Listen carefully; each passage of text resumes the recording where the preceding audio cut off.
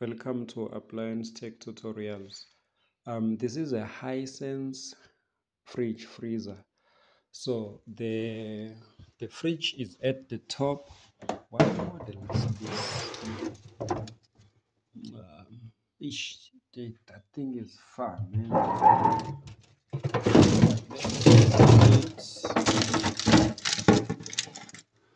um that is the model number of this fridge.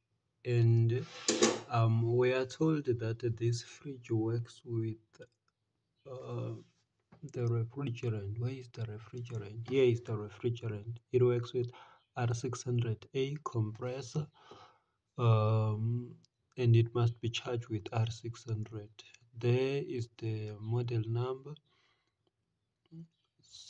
for for this fridge so the reason for this video is to answer some few questions that I get concerning the other Hisense fridge freezer that I fixed. Um, I fixed this fridge, but I had to come back to clarify some things that um, a lot of people are, are asking me. So this fridge here at the back, I don't know whether you can see that there is there was frost and now it's melting. So as the temperature drops it's gonna start again. Um, so here at the back of it there is an evaporator which is joined to the freezer evaporator which is joined to this evaporator the freezer evaporator so when this fridge leaks on the cooling system, it will either leak here or it will leak to the top. There is no way this fridge um, um, cooling system, um, what is it that I want to say? Yeah, it will only leak here and on the top when we are talking about the cooling system or the evaporators. So, how you test it? Now, let's go to the back. So we, we, we can we, we can see how we will test it. I fixed this fridge. Ah, how long has this fridge been running? I think it's the because this fridge was fixed before COVID, so it's more than three years now. It's been running for more than three years without giving problems.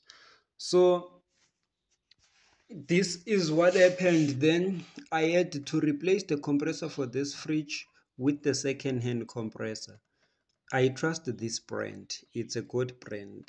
Like Embraco compressors, that's a good brand. So even though it was a second hand, but I trusted it. And it's still running. It's been three years now. So I was here to tell you how to pressure test the evaporator. So what you must do is, what I do is I take this, I cut it, and then I brace there to close it properly and I will either take this pipe which goes to the cooling system, cut it and fit the service valve like this one. Or I will just cut the condenser here and brace there and close. So by doing that, I know that I am only using the cooling system because this pipe goes to the evaporator at the fridge it comes down to the freezer then it comes back to us as the capillary tube because the capillary tube goes to the freezer not to the fridge because we want cooling to start to the freezer. So if i if i vacuum here i will be only vacuuming the cooling system the evaporator of the freezer and the evaporator of the fridge. So if i if this fridge manages to stay at minus 30 for 15 minutes without moving on my gauge, then I know that this system is not leaking. There is no need for me to put gas but if I want to I can also put gas uh, maybe 100 psi and wait for 15 minutes and see if the gas is dropping. Should that happen then I know that my fridge is leaking. Then I will have to replace the system of the fridge only with the cold plate because the system of the freezer, as you have seen it, it can be repaired when it's leaking. The only system that we cannot repair is the one on the fridge because it's enclosed at the body. It's here at the back. Now, if we pressure test the the cooling system and we see that the cooling system is right, we will then come to the evaporator, the heating system. So this is how this fridge worked. Um, now the fridge is running because the temperature has dropped. Um, okay, you see this pipe here, this pipe and this pipe.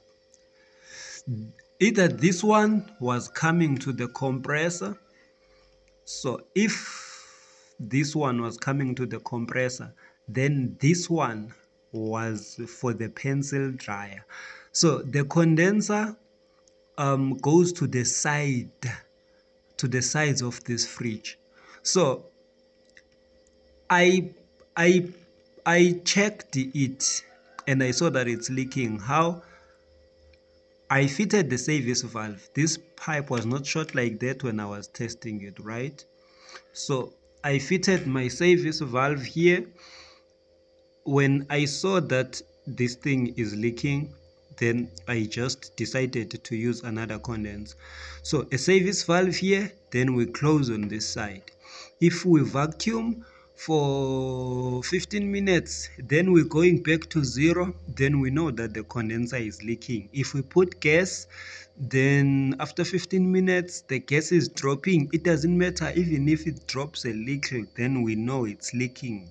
We won't use it. So that's how i tested the condenser. And for this one i didn't buy a new condenser. I just took a condenser for a fridge that I was scraping and I fitted that condenser here. As you can see this condenser is joined to this compressor. It goes comes back to the to the filter then to our capillary tube.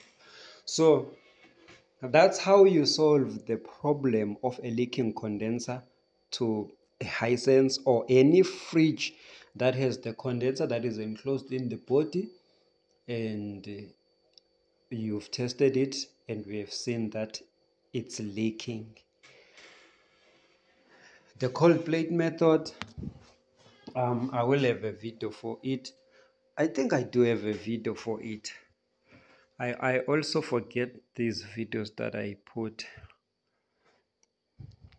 I think this video must have helped or must have answered the questions that were were asked a lot on the other Hisense um, fridge freezer repair video